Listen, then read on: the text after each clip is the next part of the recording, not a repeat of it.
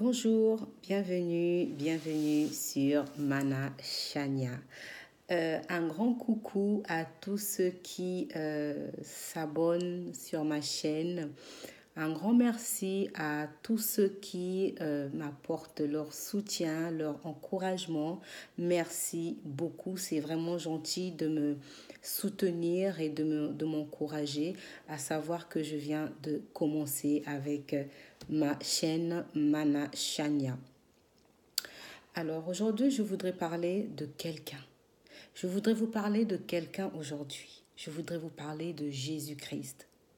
Je ne suis pas prophète. Je ne suis pas euh, diaconesse, je ne suis pas pasteur, je ne suis pas prophétesse, je ne suis pas évangéliste ou je sais quoi ou je ne sais quoi. Tous les titres que vous voulez, je ne le suis pas. Je suis juste fille de Dieu.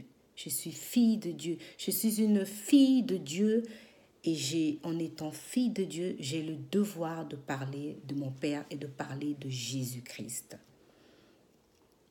Dans la vie, nous avons deux mondes, deux choix. Nous n'avons que deux choix. Nous n'en avons pas deux, trois, quatre ou plusieurs, euh, cinq, dix. Non, nous avons deux choix. Le choix, c'est le bien et le mal. Le bien qui représente Jésus-Christ et le mal qui représente Satan. Jésus-Christ ici, c'est représente son Père qui est Dieu, dont le nom est Jéhovah. Il n'y a pas de milieu. Quand les gens disent je suis athée, je suis athée, hum, hum, hum, c'est pas possible. Il n'y a pas de athée. Soit tu es pour Dieu, soit tu es pour Satan, le diable. Tu n'as pas, tu ne peux pas être athée. Dans la vie, Dieu nous a donné deux choix, le bien et le mal. Et Dieu nous a laissé le choix du libre arbitre. Tu es libre de choisir Dieu. Tu es libre de choisir Satan. Si tu n'es pas avec Dieu, tu y es avec Satan. C'est ainsi. Il n'y a pas de je suis athée. Athée de quoi?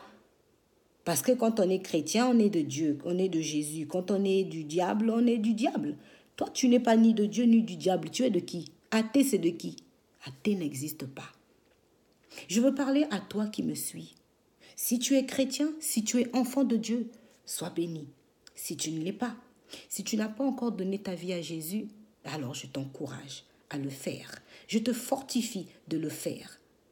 Beaucoup, surtout dans le monde actuel où nous vivons, se sont tournés, se sont détournés de Dieu et sont partis vers le diable, vers Satan, vers le mal. Pourquoi? Parce qu'ils cherchent la, santé, pardon, excusez-moi.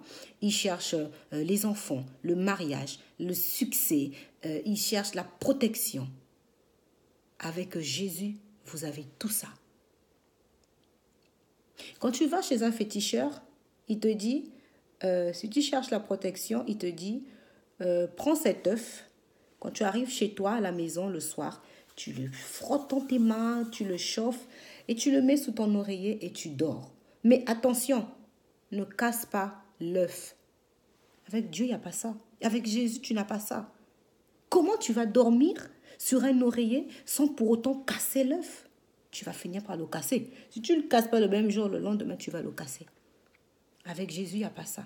Tu vas aller voir un féticheur, tu vas dire, moi, je veux le succès, je veux que mon, entreprise progresse, évolue, euh, et du succès. Ok, il va te dire, ok, tu prends cette boîte d'allumettes. Dès que tu sors de chez moi, tu la secoues. Tu sors une tige d'allumettes, tu allumes le feu et tu jettes la tige d'allumettes. Mais ne te retourne pas. Je n'ai pas fait de féticheur. Je prends juste des exemples parce que nous le voyons, nous l'entendons, nous vivons cela autour de nous, que ce soit à travers des, des films, des faits, des histoires que nous entendons, des, des gens que nous voyons qui l'ont vécu. Mais ne te retourne pas, dit le féticheur. Mais tu imagines, tu marches dans la rue et tout, tu oublies hein, que le féticheur t'a dit ne te retourne pas. Alors imaginons, tu t'appelles Juliette. On t'appelle Juliette. Tu vas te retourner instinctivement. Avec cet instinct d'être humain, quand on t'appelle, on, on, prononce ton nom ou ton prénom, forcément tu réagis vers le son d'où tu entends ton nom. Si c'est de derrière, tu vas te retourner.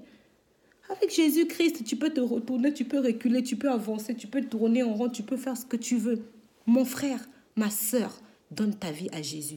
Il dit dans sa, dans sa parole, viens à moi si tu crois en moi. Si tu crois en moi, toi et ta famille seraient sauvés. C'est tout ce qu'il a dit. Si tu crois en lui, si tu es enfant, ton père, ta mère, tes frères, tes soeurs, tes oncles, tes tantes, tes cousins sont sauvés. Si tu es une mère, ta mère et tes enfants sont sauvés, ton mari est sauvé. Crois juste en lui, crois en Jésus, donne ta vie à Jésus. En donnant ta vie à Jésus, tu te sauves, toi et ta famille. Et avec Dieu, tu auras tout ce dont tu cherches. Le sang de Dieu a été, le sang de Jésus, pardon, excusez-moi, a été, nous a servi de rançon. Ce sang nous a rachetés, nous a délivrés du péché, du mal. Jésus est mort sur la croix et son sang a coulé. Ce sang-là qui a coulé, quand tu veux dormir, tu l'invoques, il te couvre. Le feu du ciel te couvre ta maison, couvre ton lit où tu dors. Tu n'as rien à craindre, tu auras la paix. La puissance divine, le Saint-Esprit te remplit dans tout ce que tu entreprends, dans tes entreprises, dans ta, dans scolarité, dans ta vie familiale, dans tout ce que tu entreprends sera protégé par Jésus. Il est mort sur la croix et il a reçu le nom au-dessus de tous les noms. Il n'y a pas un nom, ni sur, les, sur la terre, ni nulle part, ni dans les cieux, un nom qui est au-dessus de Jésus-Christ. Il est le roi des rois. Il est mort. Son Père a fait de lui le roi des rois. Mon très cher, ma très chère sœur, il n'y a pas un autre endroit où tu peux aller que chez Jésus-Christ. Il va te sauver, quelle que soit ta situation, ton problème, la peur que tu as, l'envoûtement que tu as, les menaces que tu as. Quel que soit, tu es peut-être perdu, tu sens peut-être de, le cafard. Tu ne sais pas pourquoi, tu as tout, mais tu as tout le temps le cafard. Le cafard. Dieu va briser, va détruire ce cafard-là. Donne ta vie à Jésus-Christ. Ce message, c'est Jésus qui se tient à ta porte et il frappe. Il dit, je me tiens à la porte et je frappe. Il attend juste que tu ouvres ton cœur. Bonne méditation. À très bientôt. Au revoir.